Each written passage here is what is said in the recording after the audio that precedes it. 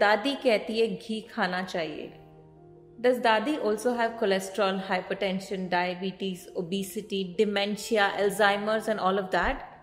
And you think it's okay for you to have cholesterol, hypertension, diabetes because it's genetics? Well, maybe it's not genetics. Maybe it's to do with ghee. Just think about it.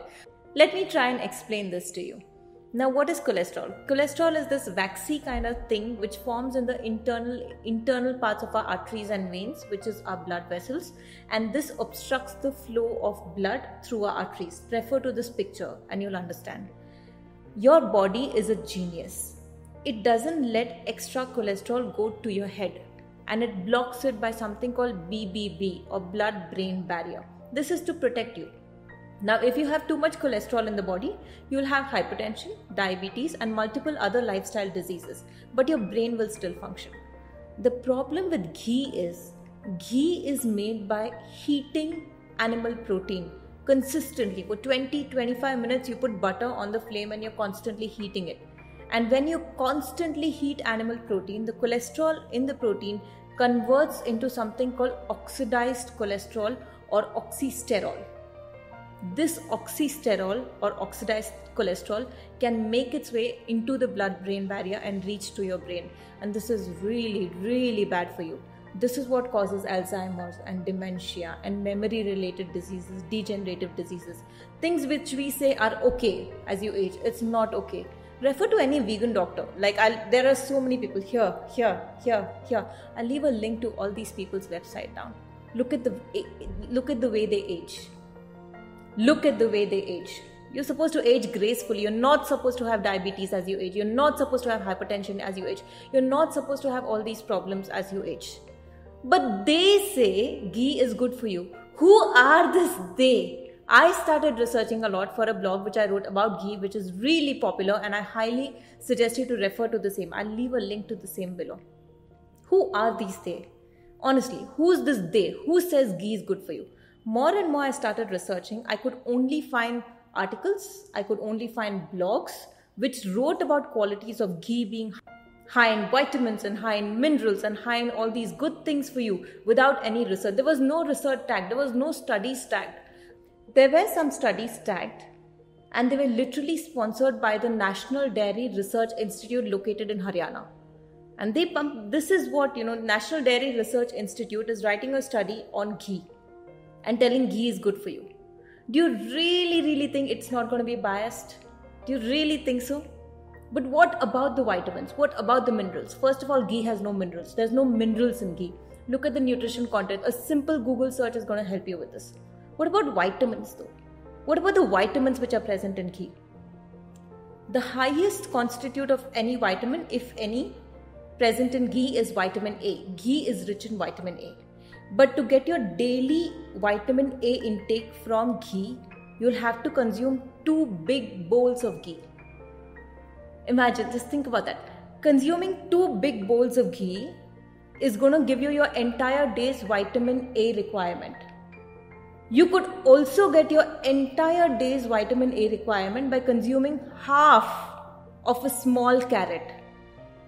Half of a small carrot doesn't it uh, think about it? You're trying to get in vitamin a through ghee which by the way is in very very minute quantity it's not in much quantities at all. And you're trying to consume all this ghee in the name of health not thinking you're getting oxidized cholesterol not thinking you're getting saturated fats. Ghee is very very high in saturated fats the kind of fats doctors tell you not to eat. American heart association american dietetic association all of them they'll tell you not to eat saturated fats and ghee is high in saturated fats. And you're told to constantly eat ghee by these people who are sponsoring studies to tell you that ghee is good for you. And they benefit from it they profit from it. These are sp- literally sponsored by the dairy industry. What is the other problem with ghee other major problem with ghee is, is that it's very very high in something called AGEs or advanced glycation end products. AGEs is another compound which when exposed to heat causes inflammation and oxidation in the body. Very big words. It's not good for you. Just know this. People who have PCOS or women who have PCOS and PCOD symptoms also have very high levels of AGEs in the body. No other food on the planet is as concentrated as in AGEs as ghee is. Ghee is very, very concentrated in AGEs. But what about ghee as a joint lubricant? Like, honestly, there is no scientific basis to prove that ghee is a good joint lubricant. If anything, it causes inflammation, it causes arthritis. Thousands and thousands of doctors across the globe use a plant based diet or a vegan diet to help people get rid of arthritis, to help people get rid of diabetes. It results in as less as three weeks. Within three weeks of following a plant based diet, you're going to see a difference in your cholesterol, you're going to see a difference in diabetes. Do you really think this is a coincidence? And if you feel so, do this experiment on yourself or on Dadi. Put her on a plant based diet for three weeks. Only three weeks. Three weeks is not, it's, it's three weeks. It's, you know, 21 days. It's not a long time at all and take her blood glucose level on day 1 and on the 21st day. And you're going to see a huge difference. That's the effect dairy has in the body. That's also how remarkable the body is at fixing itself if you give it an opportunity. There's nothing specifically nothing not a single nutrient not a single vitamin not a single antioxidant. By the way I, I could not come across any antioxidants any specific antioxidants in ghee. There's nothing in ghee which you're not going to get through fruits and vegetables. And by just eating fruits and vegetables, you're getting all the benefits. You're getting fiber, you're getting micronutrients, you're getting minerals, you're getting uh, phytochemicals, you're getting all these things which heal your body. So, in the name of health, you're consuming something which is really not good for you. But Dadi says it's good for you. India is the diabetes capital of the world. 30 million plus people are diabetic in India. India is also the highest consumer of dairy products in the world. Make a relationship. Something is going wrong in our diet. It's time to fix it.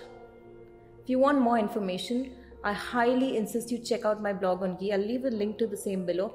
Please check it out and you're going to get a lot more information. I've also linked to a few studies which have been sponsored by the National Dairy Research Institute and I've linked, I've literally taken screen, screenshots and linked it for you.